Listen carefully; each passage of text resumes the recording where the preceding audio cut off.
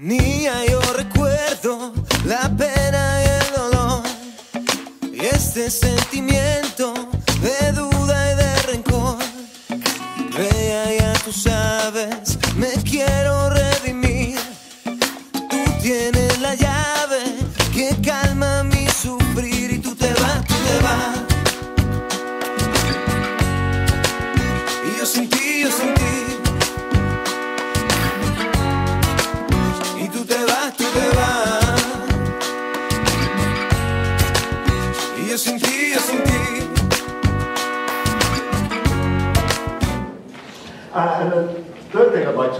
before uh, Professor Adelaida Sourdis of Javeriana University in Bogota uh, begins her presentation is to introduce very briefly uh, the Ambassador of Colombia, uh, Mr. His Excellency Mr. Diego Bellinger.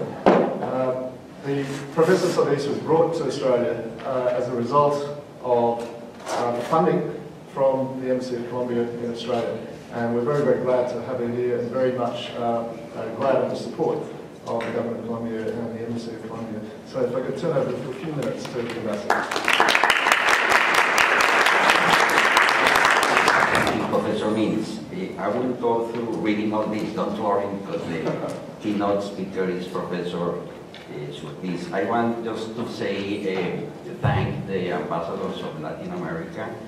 We are celebrating 200 years of independence, uh, five of our countries, and we are very uh, delighted to, uh, and thanks, thanking a lot ANCLAS and AILASA for the invitation to Professor Sourdis. Eh, I see the ambassador of Argentina Uruguay and Ecuador and Venezuela. And so, very shortly, this is a presentation from Professor Sidney, sorry, from Professor Sourdis. She is a magister in social research.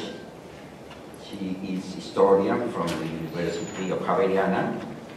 But the most important that I wanted to highlight before uh, Professor Fernanda Peñalosa uh, introduces the details of uh, Professor Sourdis' works, I want to highlight briefly that Professor Sourdis, uh, who is uh, born in Cartagena, Colombia, is a member of the Colombian History uh, Academy, number uh, 20C.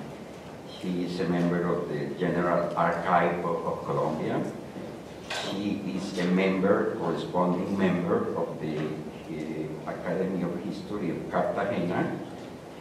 She too is a member of the uh, History Academy of Bogota, capital of Colombia. Uh, the same, she is a mm, corresponding member of the Academy, Royal Academy of History of Spain, also of, uh, of San Salvador, and of Ecuador. So I think with these uh, distinctions, Professor uh, can delight us with the interesting facts about Colombian independence. Thank you.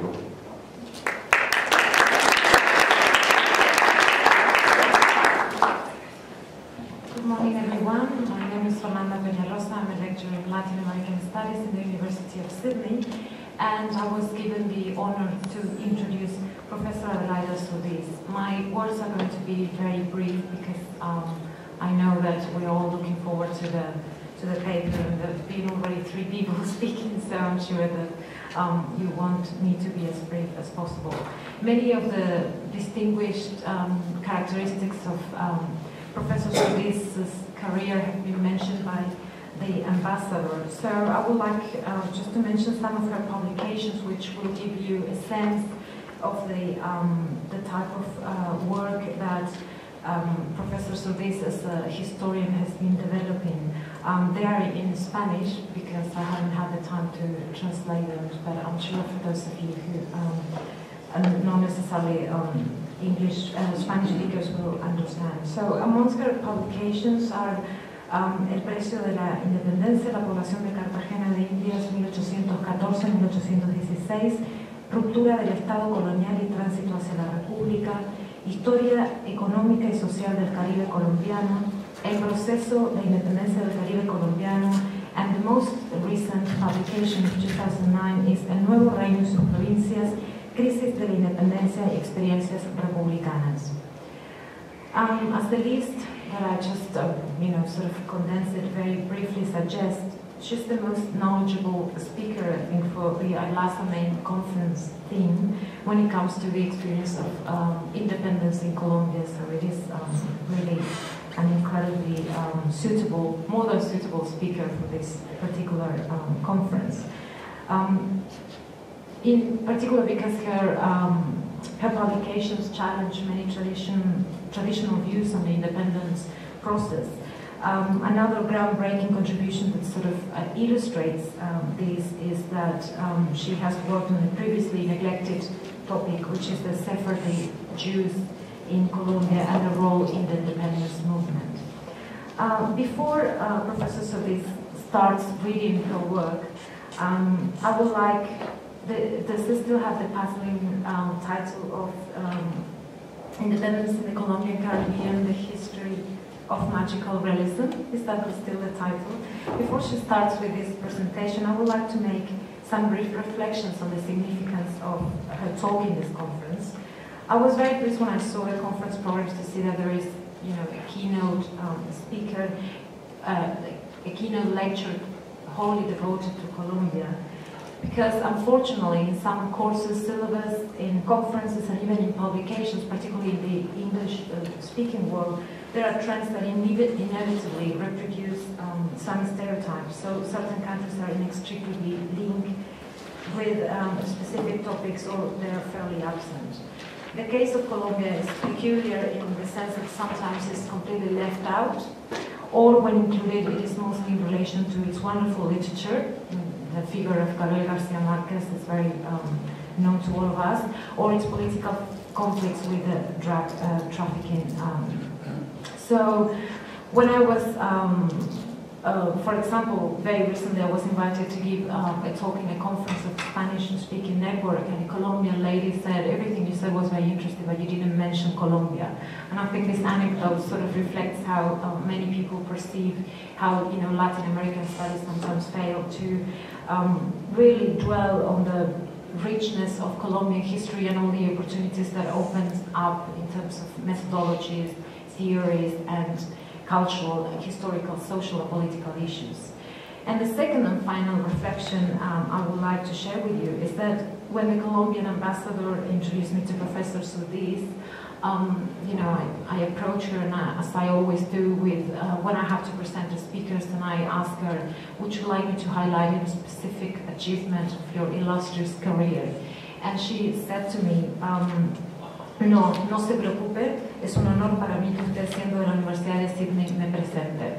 Um, so I think that speaks volumes of, um, of her um, modesty. And the, the other thing that I would like to say is that for a woman who has you know, managed to build up a career in Colombia, uh, and she has this prestigious um, position in the, you know, the, the Academy of History in Colombia, and yet has remained humble. I think she is truly an inspiration. I was thinking of the, the, the, words of Arturo Arias in relation to the responsibility of us as individuals to sort of foster careers that um, help to, to, um, to, to, establish links between our, um, our academic life and, um, and those values that we hold so dearly. So um, she's an example, I think, to follow for academics in Colombia and elsewhere, and particularly uh, an era where collegiality is discouraged by a highly competitive market uh, that seems incompatible with the genuine and humble gestures like that of Professor Sourdis. So thank you very much. Mm -hmm.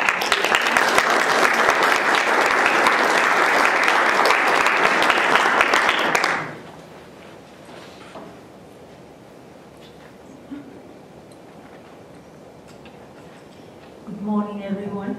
Can you hear me well? Yes. Professor Mines, President of AILASA, Mr. Ambassador, our dear Ambassador, Maria Fernanda Peñalosa, eh, she moved me with her, uh, with her beautiful words about me, uh, members of the faculty, uh, members of the diplomatic corps, students um, of this and other universities. I'm very pleased and very glad to be here with you. And as Maria Fernanda said, well, it's an honor for me to be able to um, uh, share with you some of my um, my research and my knowledge about um, our Colombian and Latin American history. Thank you. Uh, I am going to show you first some maps because I think it's important that everyone uh, locates perfectly geographically where is Colombia, uh, well, after the words you said, that, that's the least I can, I can, I can say. But well, it's normal. I mean, we are in the other side of the of the of the world. So I'm going first to um, uh, locate some some maps.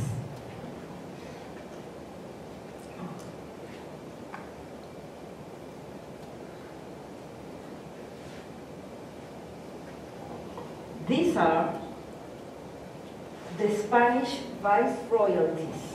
The Spanish vice viceroyalty. Over here we have the viceroyalty of New Spain, which is to say Mexico. These were the 13 American colonies. All this was, uh, was uh, Spanish. Here is the other great viceroyalty, the viceroyalty of Peru. This is um, uh, end of the 18th century. Over here is the third viceroyalty created uh, at, the, at the beginning of the 18th century, 1339, uh, 1739, uh, the viceroyalty of New Granada, which, as you see, goes from the Pacific coast to this Atlantic coast, and Venezuela, the captaincy of Venezuela, which only lasted under the viceroyalty of New Granada a couple of years before it was created as captain general, uh, as a captaincy, uh, different from the viceroyalty. And over here we have the last viceroyalty created at the end of the 18th century, viceroyalty of La Plata, Rio de la Plata, which is today uh, Argentina um, and Chile. And over here, this was part of the viceroyalty of Peru, then uh, part of the viceroyalty of Rio de la Plata when it was created, but this, the audience of Charcas is where Simón Bolívar created the actual country of Bolivia.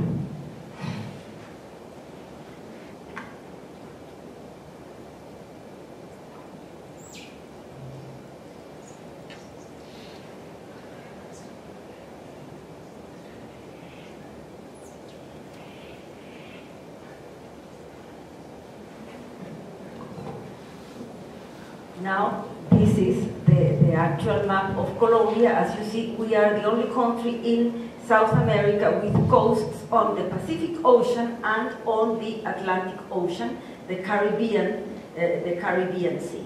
I am going to talk to you about this region, which I am just showing here.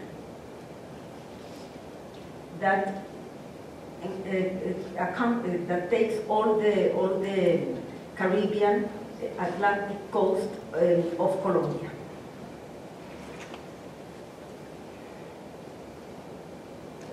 Over here you see a map where how that Caribbean region is divided today, is politically divided today. We, uh, the, our country divided in what we call uh, departments is um, equivalent to the states here in, in, in Australia. So we have one, two, three, four, five, six, and seven, eight different states which are all the Caribbean region of Colombia.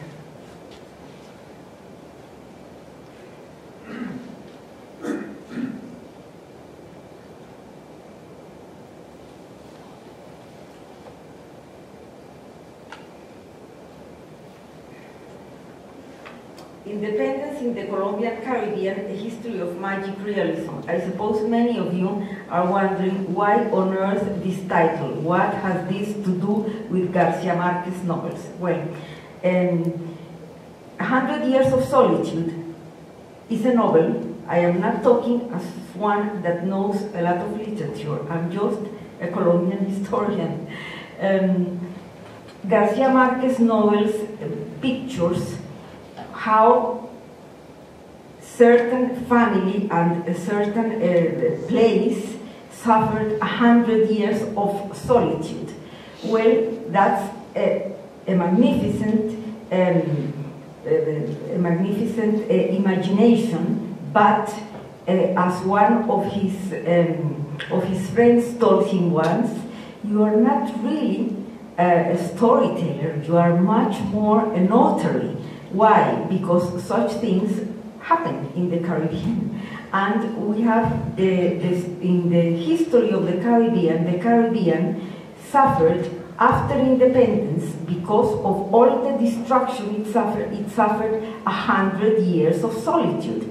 The region um, uh, underwent a terrible downfall and destruction and only started to recover uh, from the, the hardships and the destruction of the independence war a hundred years later. So there we have a hundred years of solitude. I am quite sure Garcia Marquez, who lives in Cartagena, uh, has a house in Cartagena, was very well aware of this situation which he pictures part of it in his, in his famous novel. Right. The, independ the independence process that took place between 1810 and 1824 was a violent political rupture of the bonds which linked Spanish America and in our case the viceroyalty of New Granada with Spain. New Granada is Colombia today. Its history can be traced back to the second half of the 18th century during which very significant and economic changes took place, especially through the teachings of the botanical expedition led by sage José Celestino Mutis, which formed a generation of illustrated, ambitious, and brave patriots who brought about emancipation. In the first decade of the 19th century, the liberal and autonomist ideas already inspired in the criollos by the Spanish illustration, the French encyclopedia, and the revolution of the English colonies were popular among the Grenadine leaders, leaders who summoned themselves to the revolt of the metropolis against Napoleon Bonaparte in order to preserve the Spanish Empire under its legitimate monarch. It's important uh, to show um, uh, this, um, this, this um, part of history because right now we are looking in, in Colombia and in the rest of Latin America, we are envisaging the independence as a process that took place in all America, not just in, in one um, country or in two different countries, but it was um, a process that took place in the continent that belonged uh, to Spain and that it started in Spain. Independence started, started in Spain, um, even if it sounds um, if it sounds peculiar. Why? Because Napoleon invaded Spain in 1808. I am not going to go in that part of history. Probably uh, you've, uh, you've heard uh, about it in other lectures. Invaded Spain and imprisoned the, the king of Spain, imprisoned the king of Spain who was forced to resign his crown uh, in Napoleon's brother Jose Bonaparte.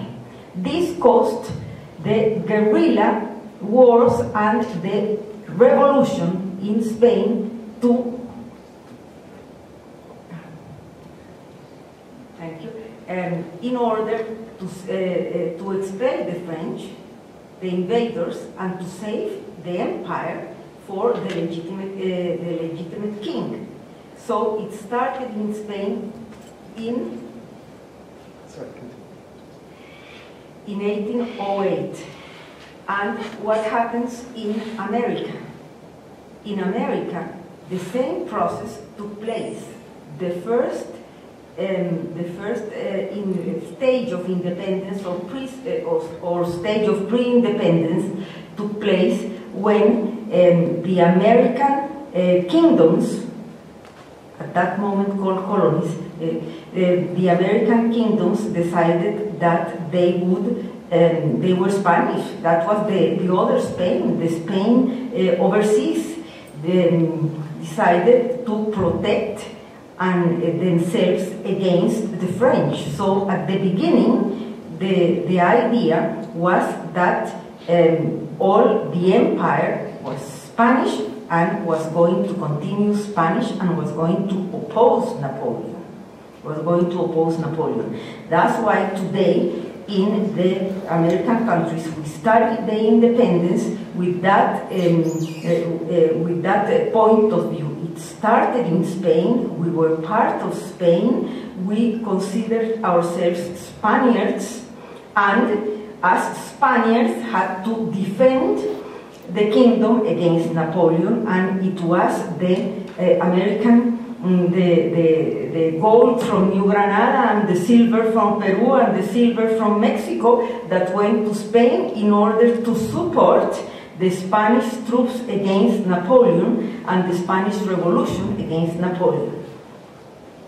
So, as I was saying, two stages, uh, two places.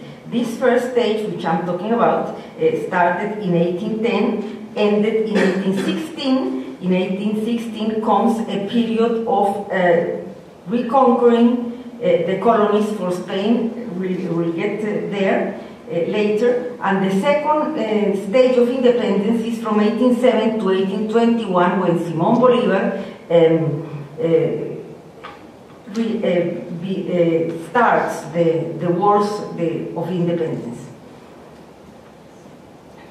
During this first stage, what happened?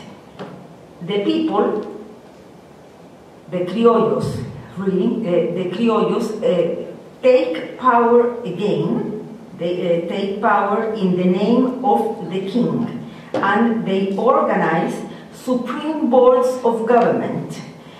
The supreme boards of government started in Spain with the supreme board in Seville, um, and in America, uh, Supreme Boards, just like the board in Seville, assumed power because of the vacancy of the throne and um, the non-recognition non of José Bonaparte as the king of Spain.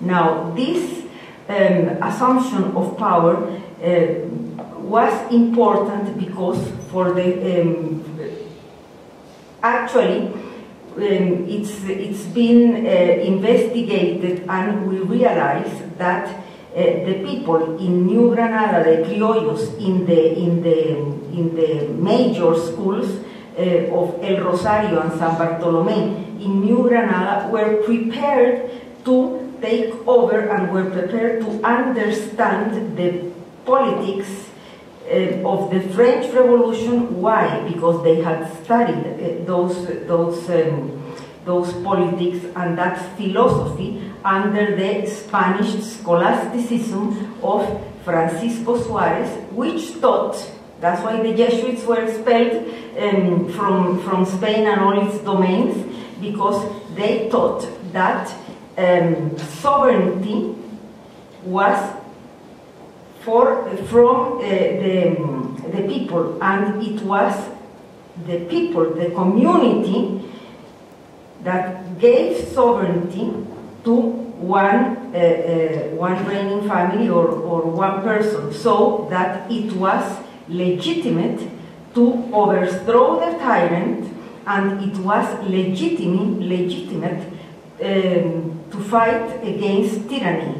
That was the reason why, the, uh, why, the, why in, in Bourbon, Spain, the Jesuits were expelled in, 16, uh, in 1763 by, by Charles III. So, when this situation comes, it was natural to assume sovereignty as the real heirs of, um, of the people and these supreme uh, boards begin to govern in the king's name. The first supreme board was organized in Cartagena, where there, in Cartagena, on May the 22nd, 1810. Its example was followed by the criollos in Cali on July the 3rd, Pamplona on the 4th, and Santa Fe, the capital of the Viceroyalty, the 20th of July. Shortly afterwards, absolute emancipation took place in Cartagena. And now I am going to give you a brief um, look on Cartagena.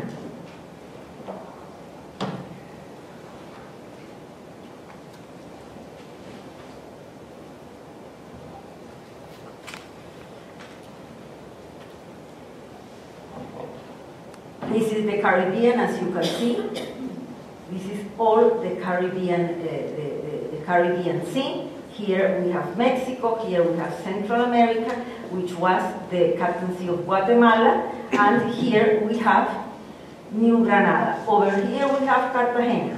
Now this triangle shows the defensive system of Spain in order to defend the great viceroyalties of Mexico, where came most of the silver, of Peru over here, where came also uh, uh, uh, the great treasure, the silver treasure, which went through the Panama Isthmus over here to Spain. Now, Cartagena was a stronghold the most important stronghold in the southern Caribbean. Veracruz was another important stronghold, and here in Florida, we have St. Augustine, which was a fort, not as important as this one, but it uh, completed the triangle. Over here, in this line, we have Havana, which was protected by this, by this line. Now, the Spanish main, the Spanish main that everyone knows and talks about the pirates and the, and the, uh, uh, and the treasures, was a system of transportation by fleets, which you know that came from Spain. There were two fleets.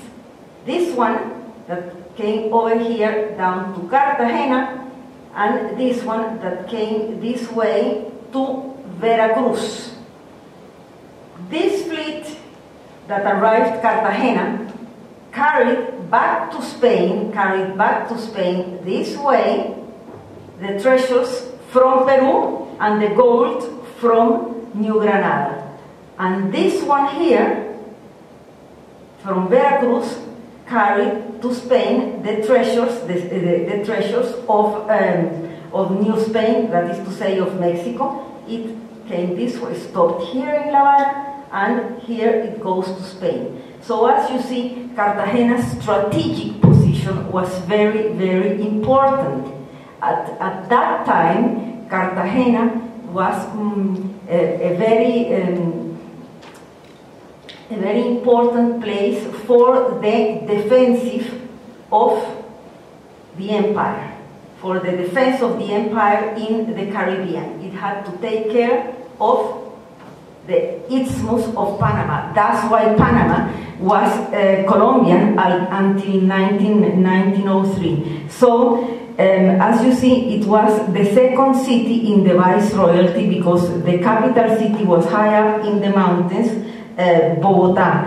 And although it was the second city, it was the richest and the most cosmopolitan place in the Viceroyalty because you know that commerce and, and, uh, uh, and news uh, come from, from the sea first and Bogota was high up in the mountains.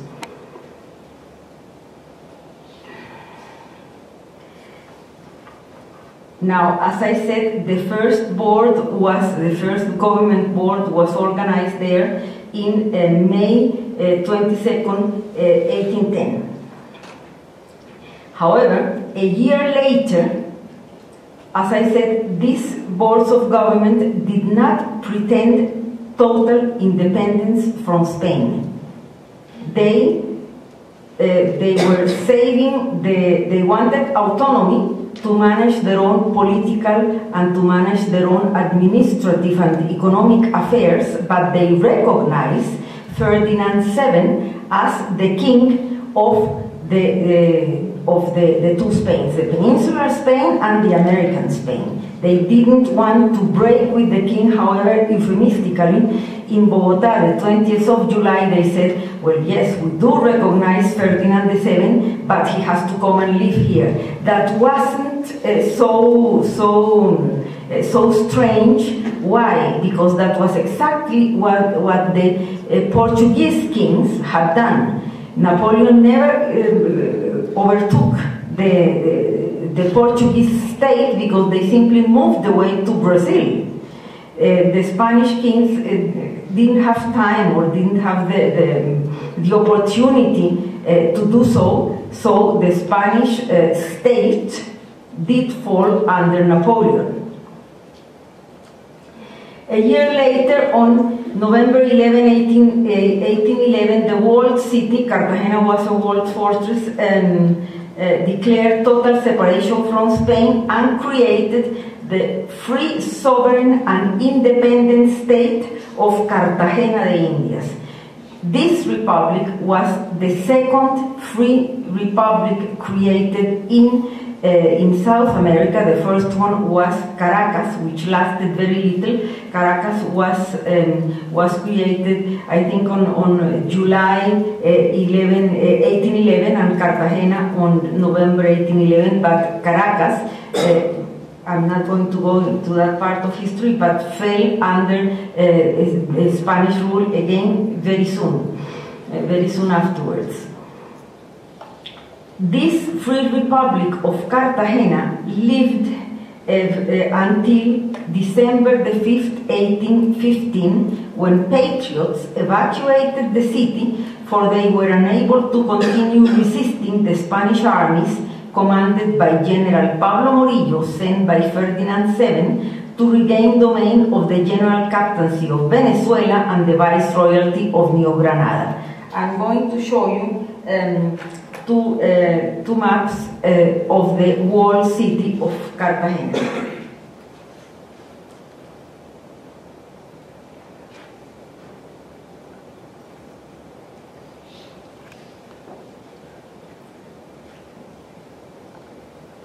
The walls are all these, you know, in, in dark brown.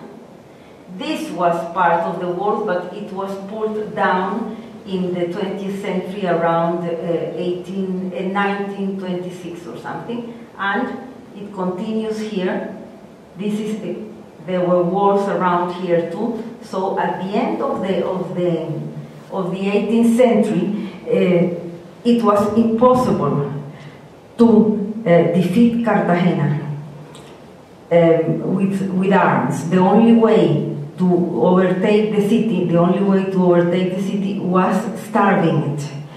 Uh, Cartagena had um, enough uh, water deposits and enough uh, food uh, deposits, if it was well provided, to withstand a siege of one year without having to uh, receive help from, from the outside. So the only way to, to, to overtake the city, the only way was by starving it, which was exactly what happened. Spaniards had built the walls and Spaniards knew uh, that uh, it was impossible to, uh, to enter the city with arms, so they decided to starve the city and eventually it happened. Cartagena and this province endured a frightening siege. The province was invaded from Santa Marta. Santa Marta is the province nearby uh, at three different points, and the, sea, and the city was besieged by land and sea for 177 days. The invaded troops halted the entry of food and reinforcement in order to make the plaza yield by hunger, which indeed eventually it happened. The price Cartagena paid for its independence was catastrophic, for as Garcia Marquez' novel, tells, it underwent a hundred years of solitude. It beheld the destruction of its economy, the sacrifice of its leader, the loss of, of its geopolitical position, and the impoverishment and economic recession, for nearly a century. The, the destruction of the city meant a dramatic loss of population. Half of its inhabitants perished, dead during the siege, or sacrificed on the scaffolds of royal authorities.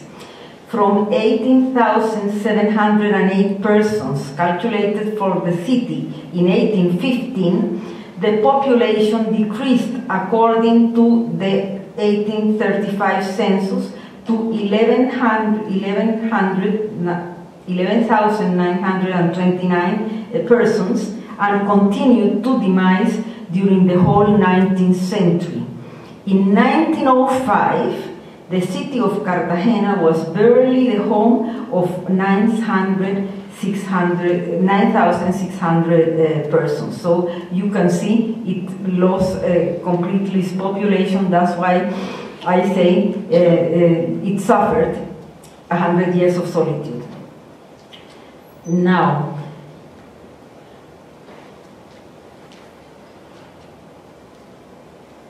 This is another map. This is an, an, an ancient map which shows uh, more or less uh, what I've shown you in the in the map before. You've seen this one.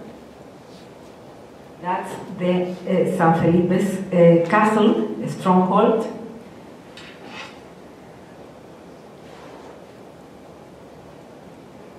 That's the same the same view from this part of the of the modern city. You can see the the, the, the castle. Over here you see the fortresses of Boca Chica, which um, which guarded one um, the, the entry to the Cartagena Bay.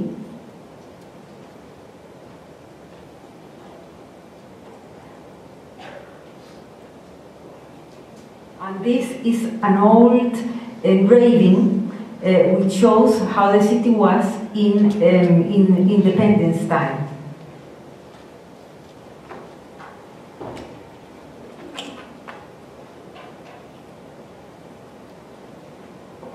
This part over here, you see all the walls around?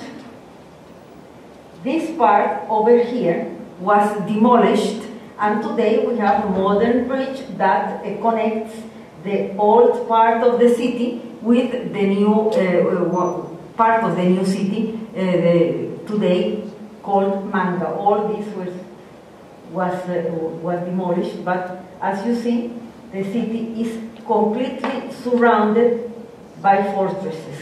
The great castle I've just shown you was outside, more or less around here, in order to protect the city also.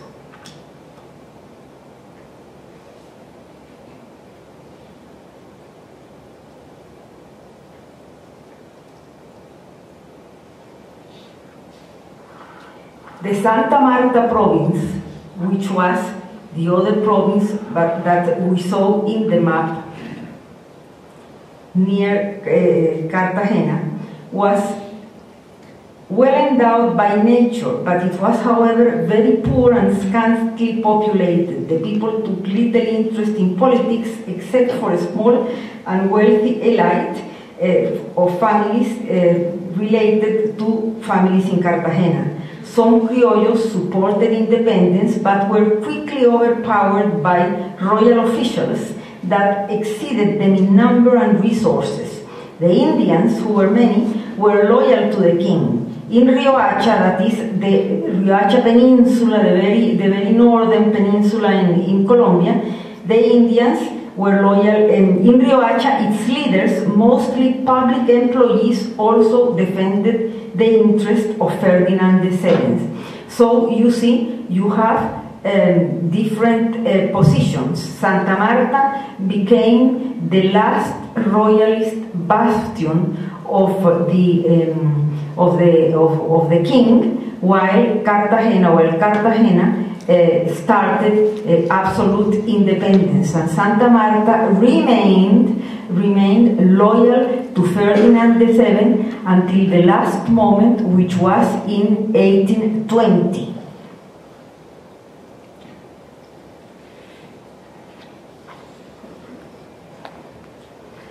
Now that I've given you a whole view, I want to talk about the first and the second stages of independence. Let me see how my time is going. The support and resistance for and against the independence process occurred in cities, actually small towns.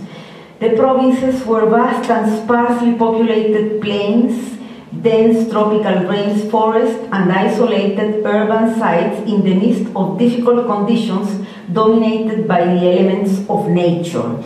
This is a characteristic of the Spanish colonization. The Spaniards um, replied, uh, the, the, Spaniards uh, did uh, colonize America using the same method they had done in the reconquest of the peninsula from the Moors. That, from, that is, they would found cities and towns, and then from those cities and towns, they would expand and appropriate the surrounding territories. So it was communications were very difficult. Uh, towns and cities were uh, isolated. Uh, the, the, many of them never set out of their of their own cities uh, to go other places because there were hardly any any roads I have a picture of what Cartagena's province and Santa Marta's province uh, must have been, like they must have been uh, at the time of independence.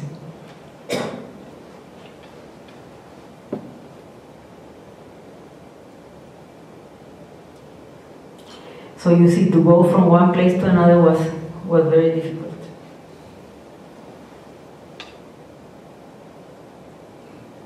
This is Cartagena today.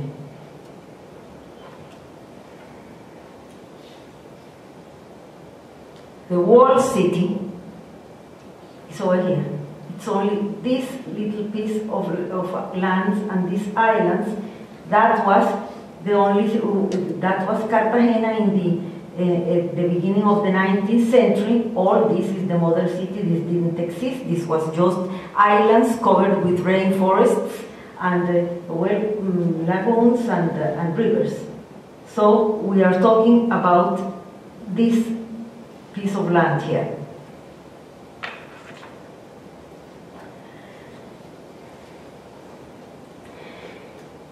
The rich and educated uh, criollos had learned the illustrated liberal ideas in the major colleges of El Rosario and San Bartolome, as I already told you, and they had studied with José Celestino Mutis, the father of the illustration in New Granada.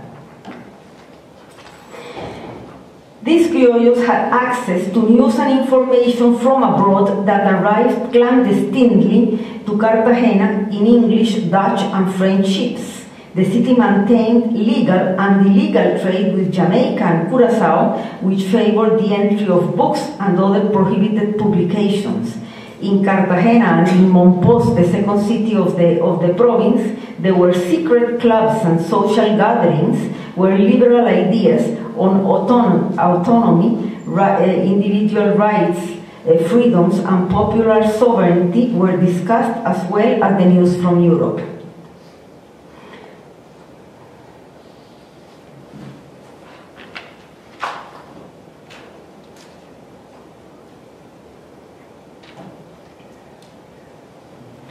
As I told you, in Spain, in 1808, regular and guerrilla war broke up uh, then uh, throughout the country, and the authority was deposited in the Supreme Board of Government installed in Seville and later on installed in, uh, in Cadiz. In 1810, in 1810, this, uh, this uh, Supreme Board of Government of Spain resigned um, political power and um, in a council of regency that was to govern in the name of uh, the imprisoned king. And it, uh, this board of, of uh, this, uh, this regency council um, had residence in Cadiz and it pretended to rule over all America. That was when the uh, things started to, to break between, uh, relations started to, uh, to break between Spain and the colonies because the Regency didn't give enough representation to the American colonies in the courts of Spain that were to be held. The courts were a sort of parliament uh, where all the provinces of Spain were represented, and while the provinces in the in the in the motherland uh, were uh, represented by by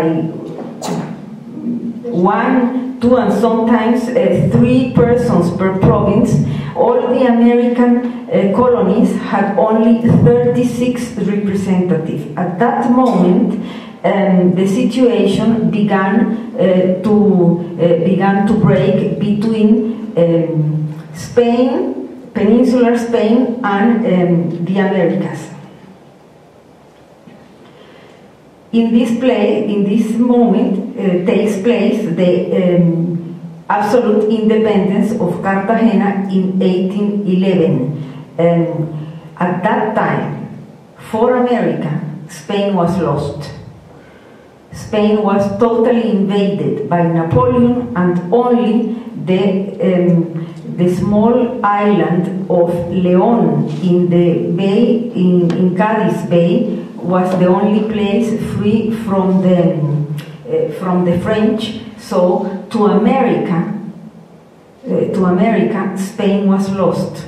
And the question arose, are, are we going to be French or are we going to govern ourselves? And naturally, the idea of self-government and uh, sovereignty and authority and absolute authority rose, and that's when really the uh, absolute independence, the absolute separation from Spain began, and it was a moment, it was a movement that um, took place in all the in all the, uh, the Spanish Empire.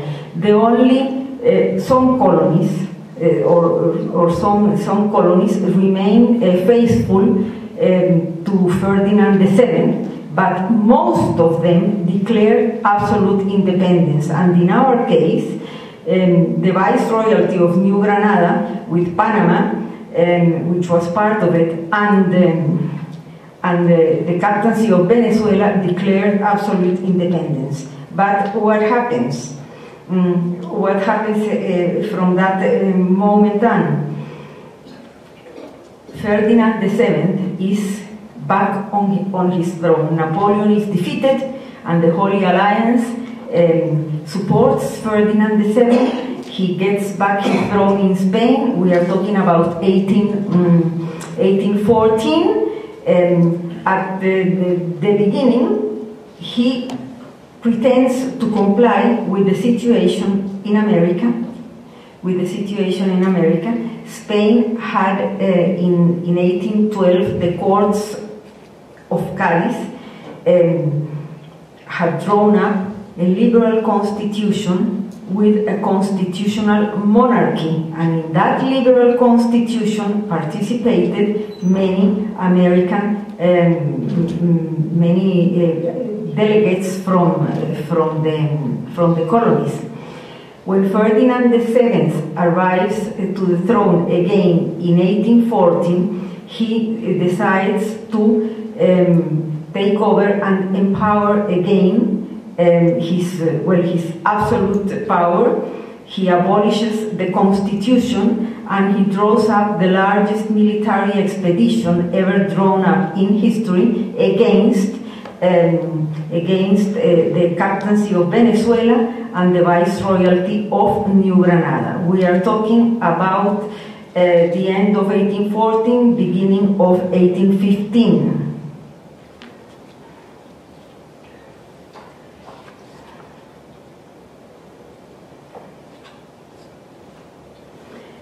In 18, uh, in the reconquest of the viceroyalty, now an independent country, by the expeditionary army commanded by General Pablo Morillo began with the occupation of Cartagena province and was carried out in three fronts. One organized from Santa Marta, we, I told you that Santa Marta was completely uh, royalist, um, by the governor and captain general of the kingdom that was uh, that, that was governing from, from Santa Marta.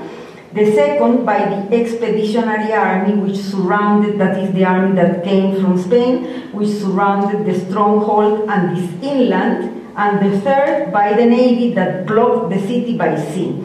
The site witnessed a hard, tough, merciless fight and lasted more than a year. So, the 5th of December 1815, um, Cartagena was starved. It had been enduring a siege of, uh, of 107 days. Uh, people had, uh, had to eat with all sorts of uh, um, all sorts of animals, and uh, well, they ate uh, rats, donkeys, and and um, yeah they were dying in, in place in two years. The city uh, lost well half of, of, of its uh, of its population. When the Spaniards entered, they only found desolation and misery, and uh, uh the corpses were uh, too many all over, so that Morillo had to uh, had to dump them at sea. It wasn't time nor, nor place to bury them, so they were just piled up in, in canoes and, uh, and dumped on sea. Horses, donkeys, dogs, leather, rats, and other vermin were consumed by a starving population that preferred death to surrender. To sur surrender. The 5th of December 1815, at early dusk, patriots evacuated the city in privateer ships that, were able to circumvent the siege of the Royal Army. Many shipwrecked, shipwrecked and others were abandoned by the pirates on Panamanian beaches after being robbed of their few belongings. On December the 6th, the king's troops entered the city where they only found desolation and death. After um, the king's troops uh, under Morillo took uh, Cartagena, they went inland and by 1816 uh, the end of 1816, uh, the country was completely uh, submitted again to Spanish rule. And at this time is when we begin the second stage of independence. 1819 and 1821. Morillo takes over, a new viceroy is, is nominated. He was called uh, Juan de Samano, a military, um, uh, uh, an old, an old, uh, an old general of the of the um, royal armies. Independent Second Stage 1819-1821 Directed by Simon Bolivar, the independence campaign to liberate the North Coast was launched in 1819. Bolivar invades New Granada, invades New Granada from uh, the plains uh, in, in Venezuela he crosses the Andes, he crosses the Andes in one of the campaigns that have been considered the most, um, I mean, uh, spectacular military um, uh, military acts uh, in history because I'm going to show you in the map where does he come from and the heights that he had to uh, climb in order to get to Bogota.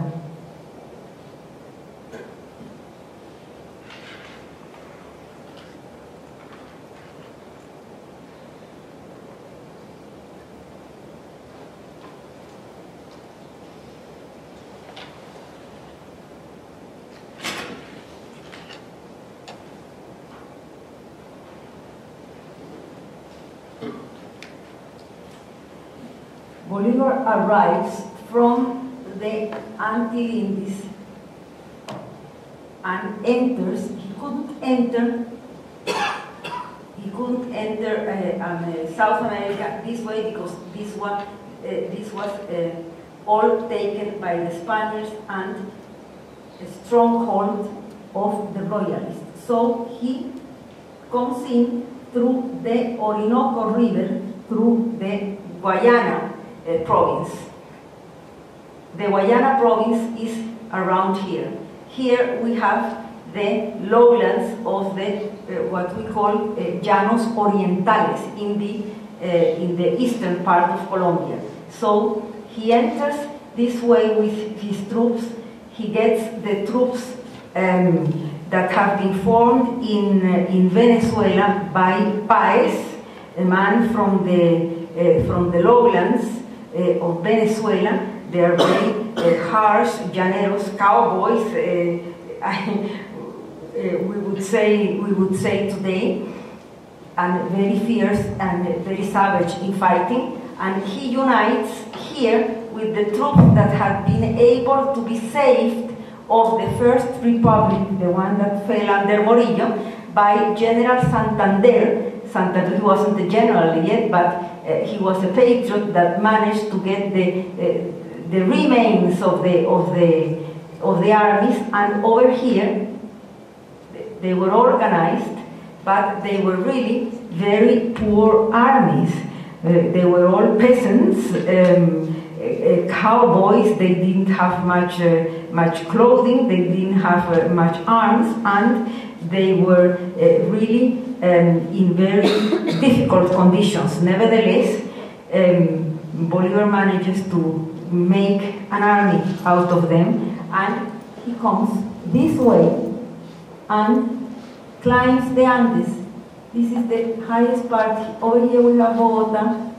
He climbs the Andes using an old cattle, uh, uh, an old cattle um, way, and he takes over in the Battle of Boyacá. He, the, the, Spaniards were completely uh, taken by surprise because they never thought that he could climb all these mountains. Bogota is actually uh, 2,600 meters over sea level and these people uh, had they were badly clothed they, didn't have shoes. Many of them died. The horses that came uh, from the plains uh, they were all lost because uh, they couldn't uh, they couldn't resist the heights.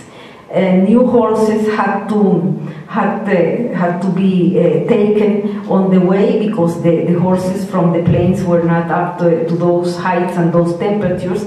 Neither um, uh, the, the soldiers, many of them had soroche, that's something that when people from lowlands have to go very high um, in, in, very high altitude, uh, uh, lack of oxygen lack of oxygen is, is due to, to uh, might kill them. So many of them uh, perished. Nevertheless, he managed uh, to get up to the to the high high mountains and uh, in a battle, the 7th of October, um, the 7th of August, the 7th of August, uh, uh, 19, 1819, 1819, the head the, the capital city of the viceroyalty, that is Santa Fe de Bogota, was taken. However, the government, the Spanish government, didn't fall at that time because uh, uh,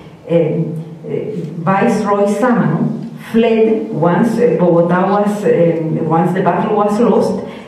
Samano and the Real Audiencia, is the High Court of, of Justice, and other uh, authorities fled to Cartagena where they established government in 1819.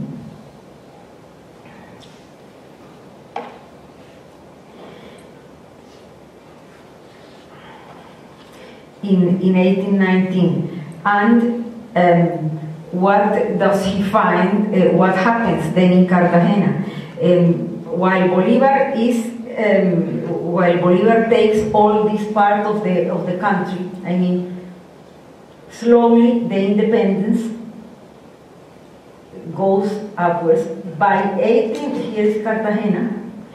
By 1821, Cartagena is still under the Spanish rules, and the viceroy is in Cartagena, and the viceroy is in Cartagena. But um, at that time, the Patriots did exactly the same thing that the Spaniards had done. They decided to yield the city by starving it, and that's exactly what they did. Uh, the city this time was surrounded by the Colombian troops. Colombia was already created. I'll talk a little bit of that uh, about that in, in, in a few moments. Uh, the Colombian troops surrounded the city by land and a corsair army under uh, Admiral Brion, the Curacao um, general that was fighting with the Colombian troops, and Colombian um, uh, captain uh, Jose Padilla, they surrounded, they sieged the city by sea.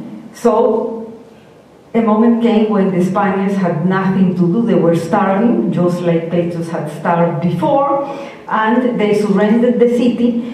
Um, the 10th of October 1921, and it was the surrender of the Spanish state to the Colombian state.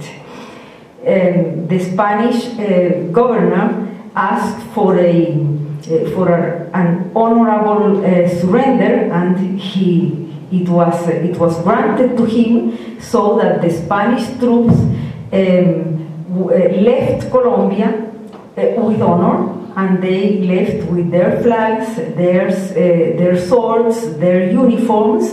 Um, it was a ceremony that took all day while um, they yielded the city fortress by fortress. And the documents say that um, while the Spanish flag was taken down, the Colombian flag was um, taken up.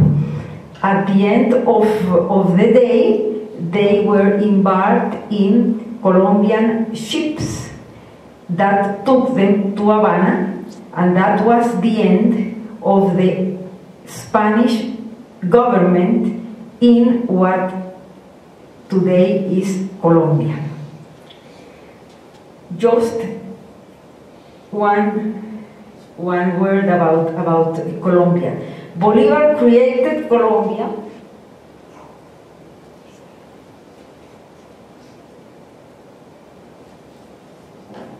we call it Colombia la Grande, La Gran Colombia. We call it Colombia the Great, and I believe in Venezuela and in Ecuador the, the, the name, the name is, is the same. Why? Because he created a new country, a new country that comprised Venezuela, Colombia, and Ecuador right here. More or less this, this territory from the Orinoco it was larger. It was um, it was uh, created in 17 um, in 1819 by the fundamental law of Colombia. This country um, continued, but it was really a, a utopic idea because they were too different. The three territories, Ecuador, uh, New Granada, and Venezuela, they had uh, um, communications were really uh, very very difficult and they had their own uh, administrative systems they had uh, their own autonomy so united in, in that moment to be united in one large country with one capital city was really um, a, a, beautiful uh, idea but not not for that time. The result was that well, strife um, uh, began in in the three in the three countries, and by 1830, uh, the Great Colombia was dissolved. into Venezuela, New Granada, and Ecuador. About 1861, New Granada changed its name and uh, named its, uh, herself, named herself Colombia, which is the country that um, we are talking of today. Thank you very much.